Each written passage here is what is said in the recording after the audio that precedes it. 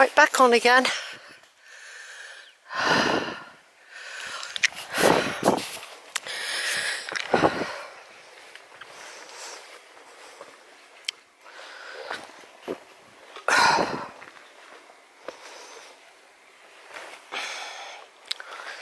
If you've got long legs, so it's easier, I think. You can't always um, reach the steps when you've got little legs.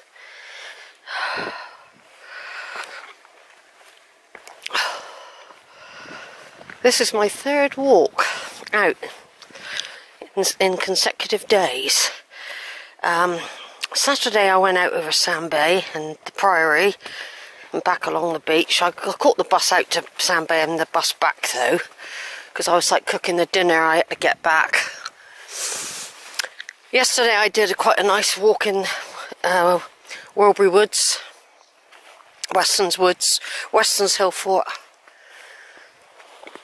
I was out there for a good three and a half hours. Not massive walks, either of them. But nice walks in the winter sunshine for a change. Because after I did that Quantock walk over at Holford, the weather was really bad after that. It was gale force winds, gusty winds, blustery winds, cold winds, and um, grey and rain. It was like really horrible.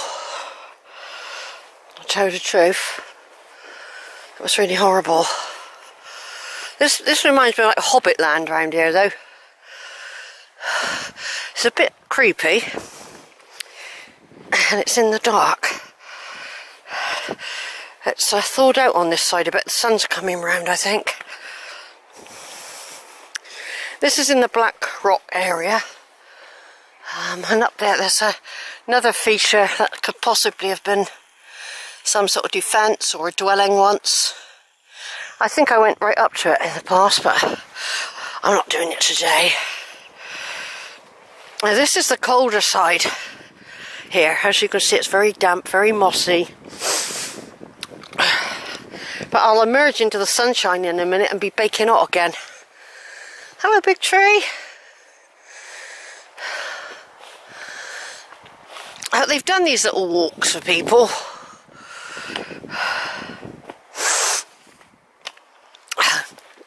that big foot.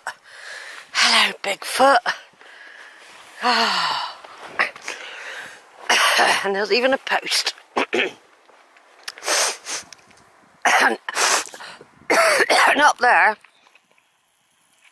I only just picked them out, there's some goats. Brown and grey, you might not even pick them up with a camera, Sheila. There, there's one. And they're in there. There's another one. Goats get everywhere. There's a post there. For first timers, it's always handy to have posts. It's reassuring to know that you've not gone off track and got lost. That this is a designated pathway on a nature trail. It's reassuring if you see a post because you think, oh, it's not going to be too difficult. They've put a post here. Yeah, there we are. I'll have a number.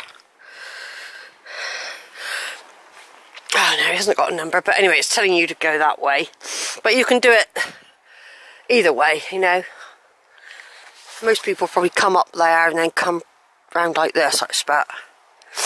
But it is like Hobbit land here, isn't it? You know? It would have made a good defensive position though in the past.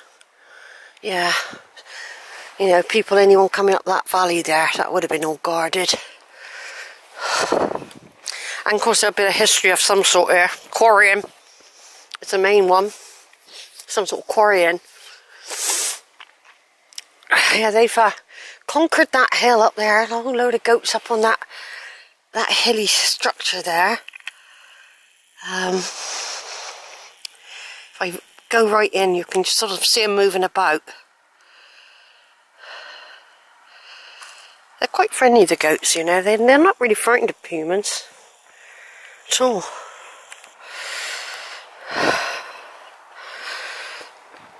You can feel the temperature as you go up actually getting warmer. So that's why I didn't bother putting my jumper on and hat and all that at the moment. Now that's a nice scene, isn't it? I'm just going to turn off and take a picture. Hold on. Here's a goat, look. For a minute I nearly had it on standby and not videoing. He's on that prominent feature. He looked up a minute ago and looked over as if to say hello. He's chewing, busy chewing dock leaves and stuff. They all look quite well fed. So this is a little bit of Hobbit land here. Lovely place for kids to explore though, isn't it? You know what I mean? Wouldn't you have fun if I'd had a place like this when I was a child?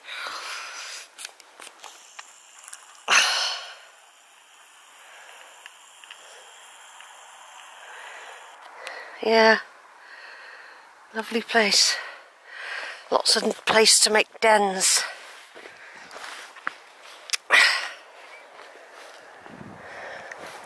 In a minute we'll come out on the field where the not far from the alpacas. I'll be going past them, I'll be saying hi to them again.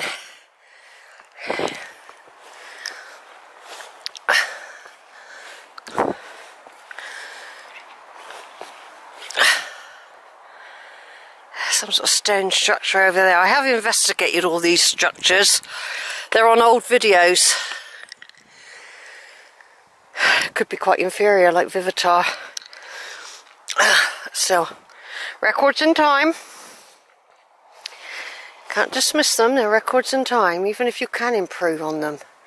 That moment in time is that moment in time. That moment of discovery. See, I mean, they look well defined. Those blocks there. And A lot of people have gone over, you can see. They're well defined blocks, they are. That's the structure, and that could have been the Romans. I bet they were out here quarrying. They wouldn't have missed much. They were only just up the road at uh, Velvet Bottom, so they would have found this place. Might have even some of these stones up Roman.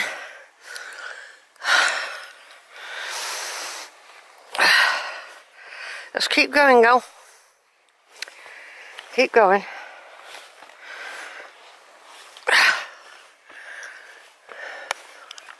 It's zigzagging, which is fortunate. It's zigzagging, it's showing you the habitat of various animals have got the pleasure of this place. Lovely blue sky today. It's one of what you call a hot and cold day. One minute you can be really hot and sweating and God really hot like I was.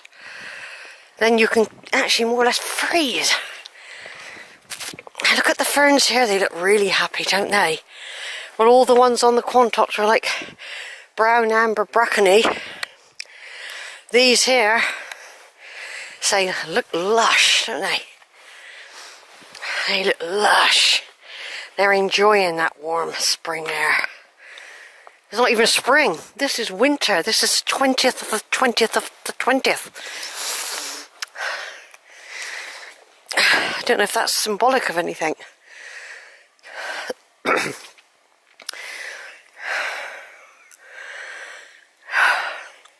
Twentieth of 2020. Well, it's the 20th of the first 20. 20. Still got three 20s in it.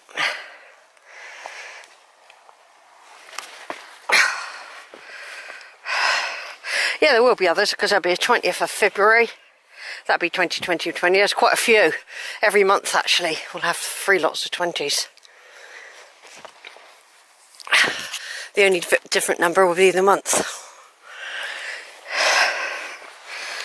Look at that, that's some sort of animal. Look how fresh that dirt is there, and it's loads of poo, look. That's a little person's foot, that is. How unusual to have, like, why a little bit of brown dirt there. Don't you find that weird? And that's darker brown. Look at that though. How strange. It's strange really, isn't it? Very strange.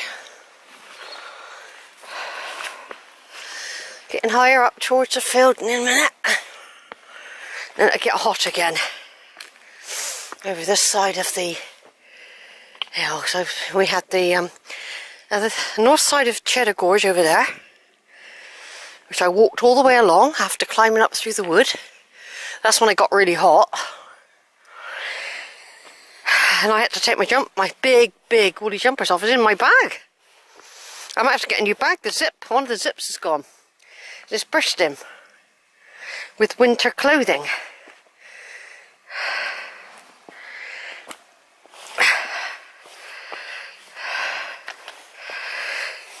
Once we get to alpacas, or alpacas, whatever they're called, that's the halfway mark.